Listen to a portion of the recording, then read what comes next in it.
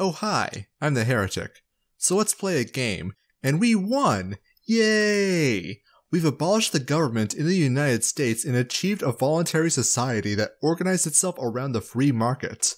As society now recognizes the moral bankruptcy of statism, the idea of the state recongregating is so repellent to people it's unthinkable. So the state's not returning anytime soon.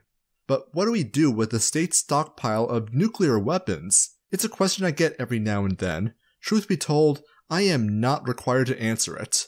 The state is immoral, and to hinge your acceptance of anarchism on who will pay for the roads is to miss the point completely. Don't get me wrong, you're not a bad person for thinking these questions, and it's good to be curious. But asking what will happen after the state is abolished is like asking how cotton will be picked in the US if slavery is abolished. It doesn't matter. Slavery is a violation of self ownership and therefore illegitimate. Statism is a violation of self ownership and also illegitimate. They're both unethical and have no place in society. What happens after they're abolished? Who cares? The state is a moral evil and must be abolished right now. Nevertheless, there's curious people, so if only for funsies, let's jump right in and try to figure this out. First off, who gets the nukes? How will they get it? The answer is the same with any previously state controlled assets, such as, let's say, land. After all, in the US, vast amounts of land are controlled by the federal government, including almost 85% of Nevada. So, how do we transition it all into legitimate ownership? The easiest answer is just auction it off. The highest bidder wins. Makes sense, right?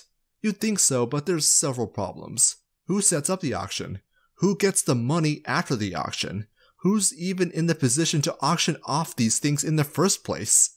It can't be the government since we banished those assholes to the moon. So who? These questions lead us right back to where we started. The answer should be that the federal lands and assets become unoccupied. Whoever can homestead the unoccupied land and assets and make use of it becomes its legitimate owner. Those people who want to take responsibility of homesteading it Congratulations, you now own a nuclear missile silo. According to, well, Wikipedia, there are an estimated 6,600 nuclear weapons in the United States. While not all of them are missiles, obviously, it's still quite a lot. So we need to know what's happening. How could one make use of a nuke? You would need a delivery mechanism, either a submarine, ballistic missile, or airplane. You have to keep them well maintained at all times so they can be ready at a moment's notice if need be. Failure to do so means that there's damage, radiation leaks, and the value of nearby property plummets, which leaves you, dear nuke owner, liable for damages. Suffice to say, really frickin' expensive and a big risk. Of course, the problem is that we can't just make nukes go away. So what do we do? Is your first guess make use of them defensively? Private militaries and security companies picking up nukes for use as a deterrent against foreign hostile powers? Well, it makes a lot of sense, doesn't it? The threat of mutually assured destruction, keeping enemy states at bay. The trick, however, is that the incentives in foreign policy change when a decentralized voluntary society and a foreign state interact. War is extremely expensive. Little fun fact. A voluntary society doesn't want war. They want to trade. And because trade is occurring, it necessarily benefits both parties, because otherwise trade couldn't occur.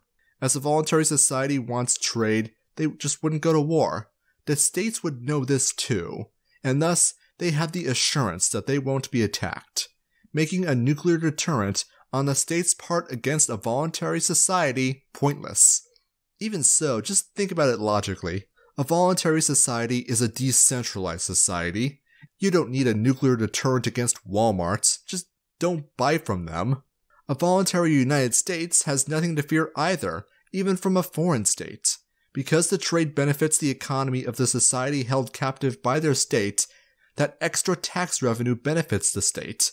It doesn't matter if the state is led by Prime Minister Ben Benevolence or Baron Hitler von Satanstein going to war against a voluntary society would require these leaders to shoot themselves in the foot economically.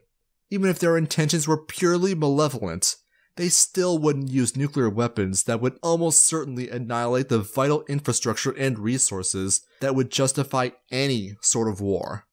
The only reason a nuclear deterrent would be even necessary for a voluntary society to have is if they were in the very situations they have all the incentives to avoid in the first place.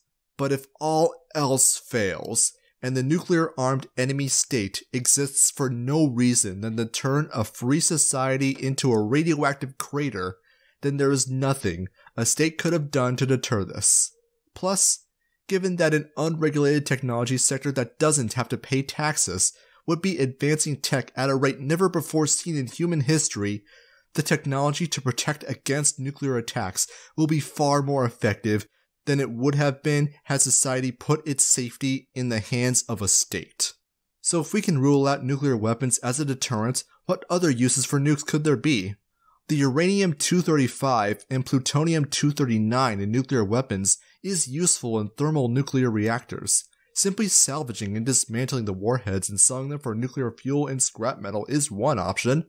Not quite as juicy as a nuclear deterrent, but still very useful society might also make it an event, detonating nuclear weapons, televising the spectacle, and even selling tickets for seats to watch the detonation. I don't know about you, but I kinda like the idea of a fancy restaurant in the Nevada desert, and then suddenly a nuclear detonation off 10 miles in the window.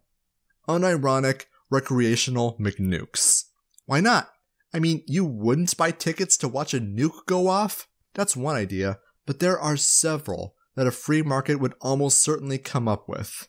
It might be useful in mining, or possibly space travel, using directional nuclear detonations in pulses as a method of propulsion. The possibilities are endless. Naturally, this isn't the full extent of what a voluntary society could do with nuclear energy, but if we want to find out its true potential, it begins with recognizing the only reason we haven't innovated past the need for nuclear weapons is the state. It's always the damn state, isn't it? I mean, it wasn't Walmart that brought us to the brink of nuclear annihilation in the Cold War. It wasn't Kmart that dropped bombs on Hiroshima and Nagasaki. It was the frickin' state. It's always the state. Questions, comments, critique? What do you think is a good, peaceful use of a nuclear warhead? Got any ideas I didn't consider? Support me on Patreon and Ko-Fi. Like, share, and subscribe to become a heretic today.